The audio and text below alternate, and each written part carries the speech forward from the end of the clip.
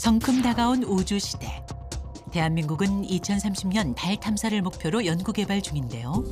중요한 역할을 담당하고 있는 연구자가 있습니다. 달에서는 14일이 낮이고 14일이 밤이 되는데 영하 한 170도 정도까지 온도가 떨어지게 되는데요. 그래서 이런 상황에서 그 동작할 수 있는 것이 원자력 전지이고요. 우주 환경에서 필요한 원자력 전지는 세계에서 세 번째로 개발 중입니다. 지속적인 충전을 통해서 로버가 움직이거나 또 로버에서 어떤 카메라 장비를 동작시키거나 광물을 채취해서 분석하는 용도로 사용을 할 수가 있겠습니다. 달을 지나 더 멀리 심우주로 향하는 대한민국의 우주 시대를 열어갈 과학자를 만나봅니다.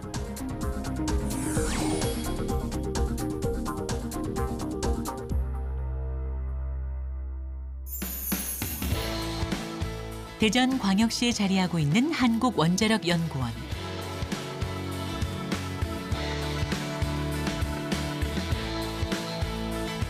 이곳에는 우리가 아는 원자력과는 조금 다른 연구를 하는 곳이 있습니다. 바로 방사성 동위원소 연구팀인데요. 빠르게 성장 변화하는 4차 산업혁명 기술. 그 한가운데 있는 것 중 하나가 배터리 기술인데요. 바로 원자력 전지를 연구하는 팀입니다. 이게 원자력 전지인가요? 예, 맞습니다.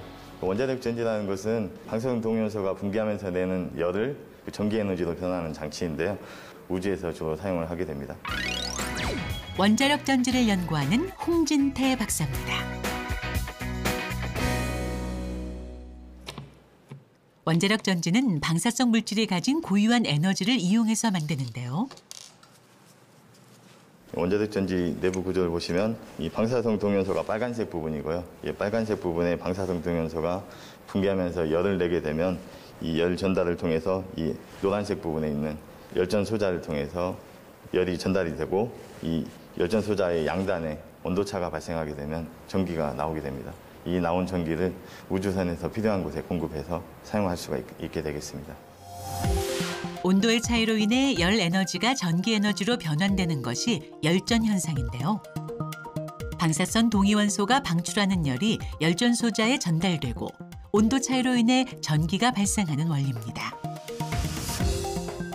원자력 전지에 사용되는 방사성 동위원소는 반감기가 길어 40년이 넘는 긴 시간도 구동이 가능합니다. 또한 온도, 압력 등 외부 환경에 영향을 받지 않아 충전과 교체가 필요 없기에 심해나 우주 같은 극한 환경에서 사용하기에 적합합니다.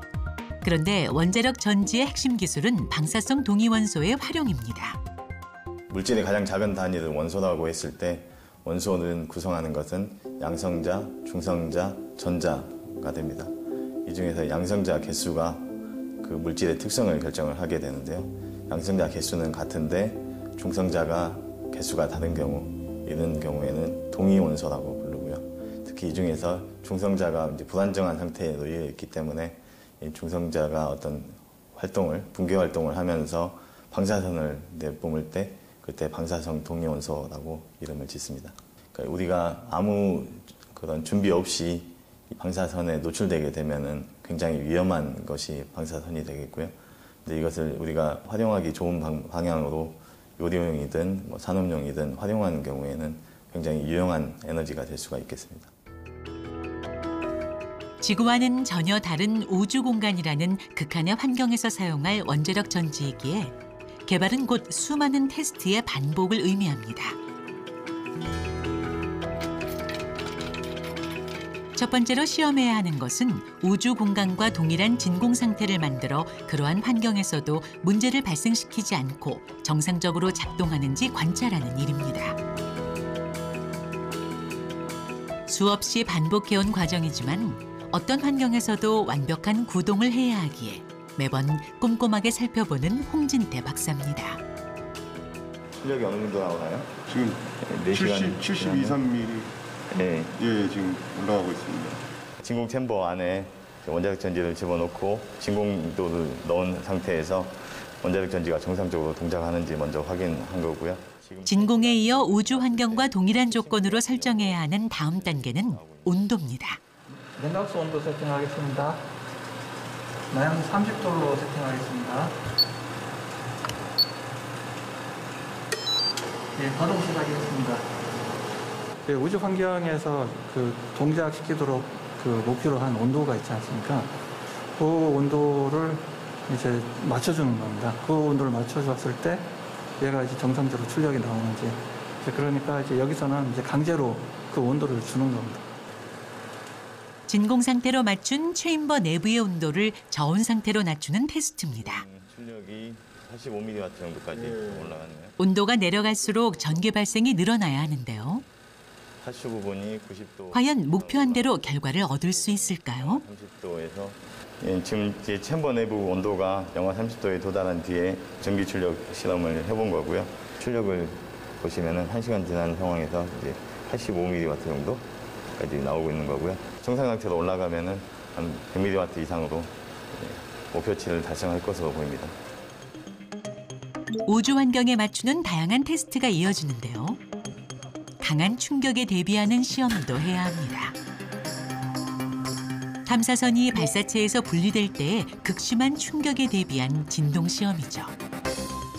또한 우주 환경에서 발생하는 강한 방사선의 일종인 감마선에 대한 테스트도 진행합니다. 원자력 전지는 우주 환경에서 사용할 수 있는 거의 유일한 에너지원이 될 수 있다고 하는데요. 그런데 달 탐사 로버에 태양열을 이용하면 간단한 것이 아닌가 하는 의문이 듭니다. 태양 전지라는 것은 태양이 가까이 있어야 되고요. 태양을 받아볼 수 있는 곳에 이 장치가 있어야지 태양 에너지를 받아서 전기를 생산할 수가 있는데요. 어, 달에서는 보면은 이제 14일이 낮이고 14일이 밤이 되는데 밤 기간 동안에는 태양전지가 동- 동작을 할 수가 없게 됩니다. 태양을 볼 수가 없기 때문에. 그래서 이런 상황에서 그 동작할 수 있는 것이 원자력 전지이고요.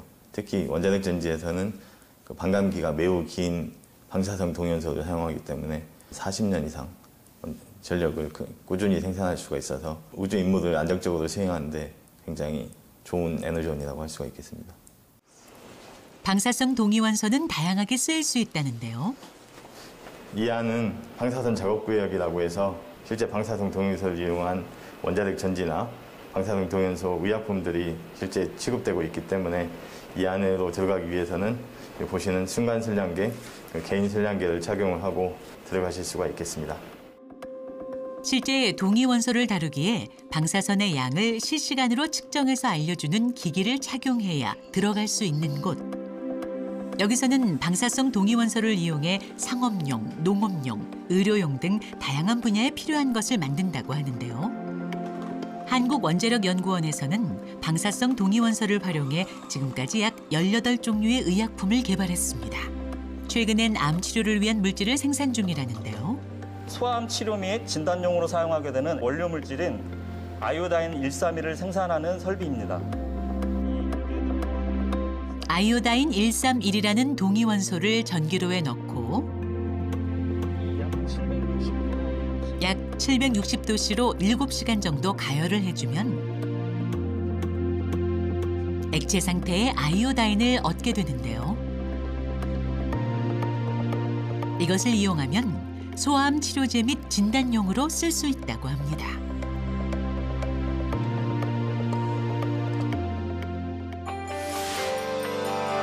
이것은 주로 소아암 중 신경 조직에서 발생하는 악성 종양인 신경 모세포종 환자의 진단 및 치료에 쓰이는데요.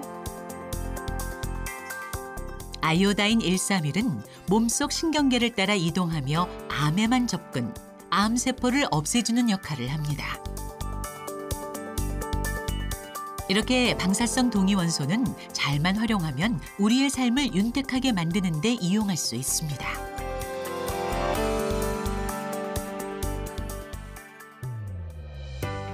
홍진태 박사가 원자력 전지의 개발을 시작한 것은 2014년. 하지만 당시엔 원자력 전지에 대한 개념 정립이 없었을 뿐만 아니라 우주 기술은 군사 기술과 관련돼 있어 세계 어떤 곳에서도 기술을 배울 수가 없었습니다. 그렇기에 원자력 전지의 개발은 미개척의 영역에 대한 도전이고 난관의 연속이었습니다. 일단 공식적으로 가르쳐 주는 곳은 없고요. 세계적으로 그 원자력 전지를 개발하는 나라는 미국하고 러시아 두 군데뿐입니다. 설계 자체도 어떻게 해야 될지도 방향도 없었고 그 어떤 문헌에서나 그림에서 봤을 때 그 미국에서 썼- 썼던 개발했던 MMRTG가 검색이 됐어요. 그래서 아 이런 모양으로 설계하고 제작하면 되나 보다라고 생각을 하고 그런 비슷한 모양으로 흉내내서 만들기 시작했죠. 일단 형태만 비슷하게 만들어 봤는데요. 뭐 아니나 다를까 출력이 형편없이 안 나왔죠. 무엇보다 발생이 된 열을 전달하는 과정에서 실패가 많아 열 전달 메커니즘이 고민이었는데요. 이건 웬 보온병이죠? 아 이거 원래는 저희 둘째 딸 물병이에요. 근데 아침에 담아오는 뜨거운 물이 저녁까지 이렇게 뜨겁게 유지되는 걸 보고 이거 내부 구조가 어떻게 됐길래 이렇게 열 전달 메커니즘이 좋은가. 그래서 딸아이 몰래 가져다가 잘라봤습니다. 여기 안에 보시면은 보온병이 이중으로 설계가 되어 있고요. 이쪽 부분에 내부에 공기층이 없도록 진공 배기를 시킬 수 있는 기능이 되어 있고요. 한 번 더 단열층을 둬가지고 열 전달이 빠져나가게 만들었습니다. 딸아이한테는 미안하죠. 몰래 이걸 가져다가 잘라버렸어가지고. 예. 그렇게 시작된 7년간의 원자력 전지 개발. 이젠 2030년 달 탐사를 목표로 하고 있습니다. 그런데 옆에 부착해 놓은 것은 혹시 달인가요? 예, 월면도 달 이, 그림인데요. 저희 앞으로 우리 원자력 전지가 달에 이제 가게 되면은 그 위치마다 하나씩 하나씩 표시해서 제가 은퇴할 때쯤에 몇 대까지 보낼 수 있는지 체크해 보려고요. 아, 그럼 지금 예정하시는 첫 번째 목적지는 어디인가요? 지금 위치는 정확하게 정해지지는 않았는데요. 극지방 위주로 달 착륙선을 보내려고 하는 것으로 제가 알고 있습니다. 홍진태 박사의 마음은 벌써 지구에서 약 38만 킬로미터 떨어진 곳으로 가 있습니다. 그날 저녁 반갑습니다. 아빠 오셨어요. 안녕하세요. 안녕하세요. 보고 싶었죠? 오늘 엄마 말씀 잘 듣고 있었어요? 네. 음, 나 오늘 100점 받았다. 오 대단한데? 잘했지? 아빠 저거 숙제 좀 도와줘요 저거. 그래? 어 알겠어요. 이거 그 뭐냐. 학교 잘 다녀왔어? 이거 이거 숙제랑 스털링 기관보다 카르노 기관이 좀 더 효율이 훨씬 좋다고 그러는데 틀린 기관은 공기하고 연료. 홍진태 박사는 집에 오면 딸이 내놓는 과제에 머리를 맞대야 합니다. 오늘은 내연기관과 외연기관을 논하며 진지하게 토론하는데요. 만드는 것을 외연기관이라고 하는데 네. 외연기관. 그런데 첫째 홍하늘 양은 중학생 아닌가요? 기관이고 중학교 과학이 이렇게 원래 어려운가요? 이거 이거는 고등학교 네 고등학교 과학이네요. 예? 고등학교 과학이에요. 아, 고등학교 과학이요? 예. 예, 과학을 이제 빨리빨리 이해를 하고 그러니까 이 다음 것도 한번 가르쳐 봤는데 뭐잘 이해하고 잘 따라와서 이 다음 것도 막 공부를 시켜보고 있습니다. 아빠는 과학도 잘하시고 약간 머리가 되게 좋으신 것 같아요. 그래서 뭐든지 잘하시는데 저도 뭐든지 다 관심이 있고 어, 찾아보는 것도 다 좋아하고 궁금증도 많고 그래서 아빠를 닮은 것 같아요. 음. 내친 김에 자신이 만들고 있는 주택 설계도에 대한 조언도 구해봅니다. 다 전체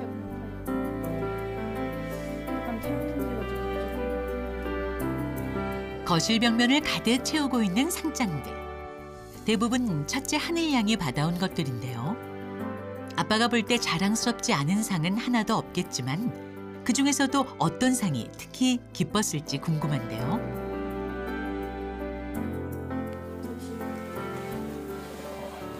10살 때 보면은 창의수학 구체물 경진대회라는 걸 한 적이 있어요. 그래서 그냥 가서 놀고 와라고 제가 얘기하고 왔거든요. 얘기했었거든요. 별로 기대를 안 했었기 때문에. 근데 갔다 와서도 얘가 반응이 막 문제가 어려웠어요. 막 그러길래 아 그래 잘 놀다 와서 됐어 하고 얘기했었는데 전국에서 2등을 했더라고요. 그래가지고 내가 생각한 것보다는 똑똑한 애구나 그렇게 생각을 하게 됐죠.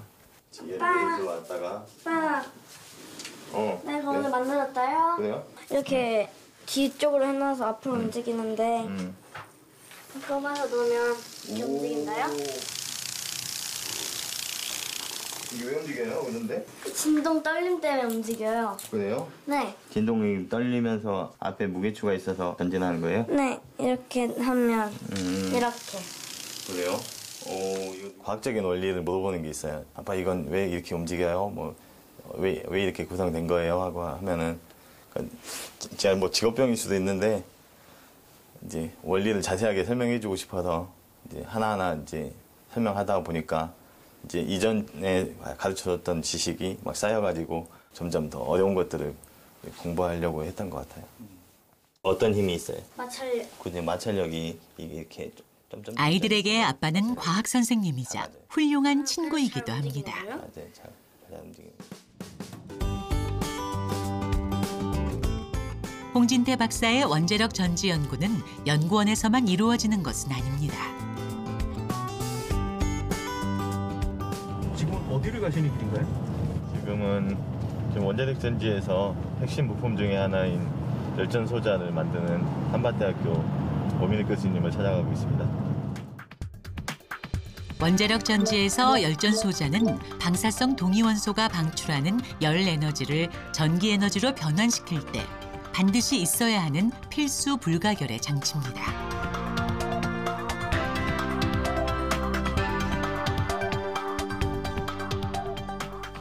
오 교수님 오랜만이에요. 아, 네, 반갑습니다. 네, 네. 지금 열전 소자 제작이 되고 있네요. 네. 소재를 소자에 넣고 있는 상황입니다.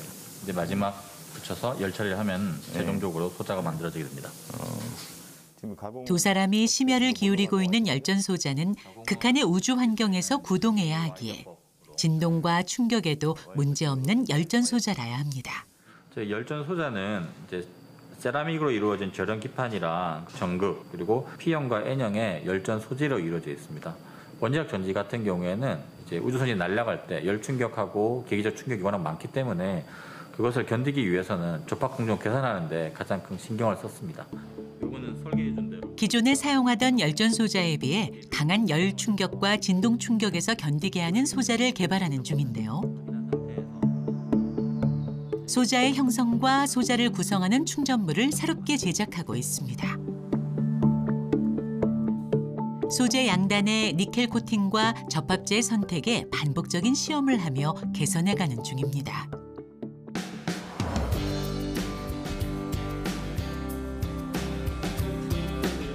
홍진태 박사 연구팀이 요즘 집중하고 있는 또 다른 연구가 있습니다. 기존의 원자력 전지에 들어가는 방사성 동위원소인 플루토늄 238을 대체할 동위원소들을 개발하고 활용하는 프로젝트인데요. 이것은 곧 한국형 원자력 전지를 만든다는 얘기입니다. 플루토늄이나 아메리슘 같은 동元소는 열출력도 높고 반감기도 길어서 사용하고 싶지만 가격이 너무 비싸고요. 우리나라에서 항미 원자력 협정 때문에 그 제조 자체가 불가능한 상태입니다. 그래서 우리나라 안에서 제조가 가능한 방법인 스트론튬 90이라는 방법을 자체 개발을 하려고 하고 있는 건데요. 그래서 이제 소결체 시작부분 스트론튬은 플루토늄에 비해 효율은 조금 떨어지지만 방사성 폐기물에서 추출해내는 기술을 필요로 하는데요. 거울상에 있는 고밀도의 성공하게 되면 우리의 기술로 만들어 수입하지 않고 사용할 수 있습니다. 즉 원자력 전지 기술 독립입니다. 여유가 있을 것 같기는 하네요. 그럼 최종 목표는 100와트까지 100와트 이상을 타겟을 줬었는데 네. 지- 지금 계획은 270와트까지 늘려서 이 스트론튬이라는 방사성 동위원소는 베타 입자를 내는 베타선 방출 그 핵종이 있기 때문에 이걸로 소결체를 만들어서 이 발열하는 특성을 이용해서 원자력 전지에 이용하려고 하는 겁니다. 동작 점검부터 할게요. 원자력 전지 개발에서 해야 하는 테스트는 끝이 없습니다. X축 지동, 이동했고 방사성 동위 원소에서 있을 수 있는 방사선 누출을 완벽하게 제어해야 하는데요. 구조체 전체에 관한 문제입니다. 보시는 물건은 방사성 동元소 열원을 담을 수 있는 캡슐이라는 건데요. 방사성 동元소가 들어가서 누출이 없도록 밀봉을 해주는 역할을 하게 됩니다. 방사성 동위원소의 열원을 담는 캡슐은 외부로부터 완벽하게 차단되고 밀폐돼야 하는데요. 뚜껑과 몸체의 접합 부분을 기준으로 정밀한 레이저 용접에 들어갑니다.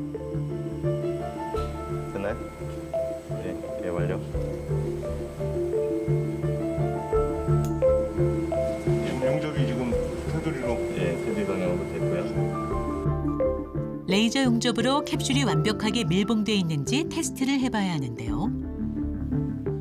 캡슐을 특수 용액에 넣어 용접을 한 부분에서 조금이라도 기포가 일어나는지를 관찰합니다. 방사선 누출은 법으로도 엄격하게 금지돼 있습니다. 방사능 공연소가 외부로 누출되게 되면은 그 사람이나 어떤 동물이든 어, 생활에 피해가 될 수가 있기 때문에 이 안전적인 측면에서 방사능 공연소가 누출이 없도록 완전한 밀봉을 해야 되기 때문에 이 용- 용접 후에 이 밀봉 실험을 거치게 되겠습니다. 싱- 히싱크 부분은 지금 흔들리는 게 별로 없었나 봐요. 잘 방사성 동위원소부터 강한 충격에 견디며 방사선 누출이 없는 완벽한 구조체를 만드는 작업. 우리 기술로 우주로 향하고자 하는 열정이 가득한 현장입니다. 달의 그낮 환경이 14일, 밤 환경이 14일이 되는데요.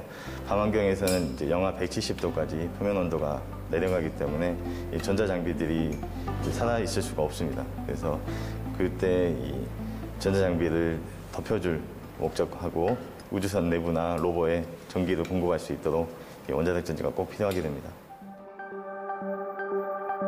우주 탐사 시대의 핵심 원자력 에너지. 미국과 러시아에 이어 세계에서 세 번째로 원자력 전지를 개발하고 있다는 자부심. 이제 달을 넘어 태양계를 지나 깊은 우주를 탐사하고자 하는 노력과 열정에 아낌없는 응원의 박수를 보냅니다.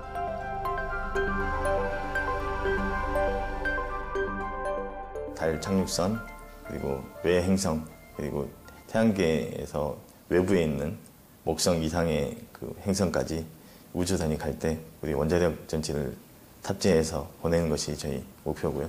이제 우리나라를 넘어서서 이제 해외에서도 우주 탐사 계획이 있을 때 우리 원자력 전지를 공급해서 우주로 날려보낼 수 있는 기술을 확보하는 것이 저희 팀의 목표라고 할 수 있겠습니다.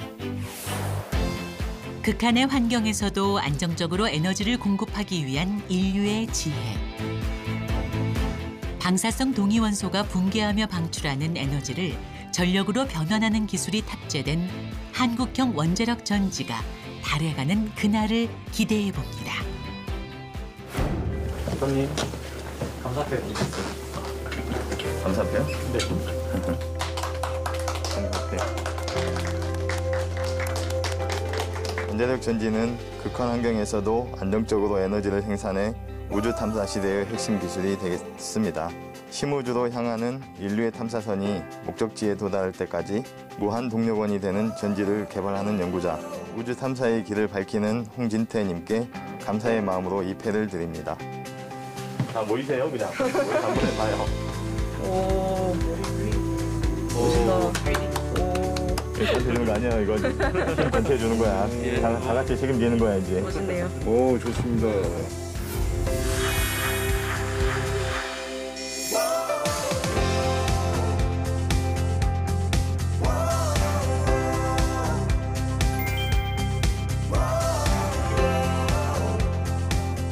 저한테 개인적으로 주시는 게 아니고 저희 팀원 전체에게 주시는 패라고 생각을 하고요. 이걸 저희가 항상 어려울 때나 어, 내력전지를 개발하다가 힘든 상황이 발생하면은 패를 보면서 다시 힘을 내는 계기로 삼겠습니다. 앞으로 저희 우리나라가 우주 산업 강국이 되는 데 이바지할 수 있도록 원자력 전지를 꾸준히 더 좋게 더 튼튼하게 만드는 기술을 개발하겠습니다.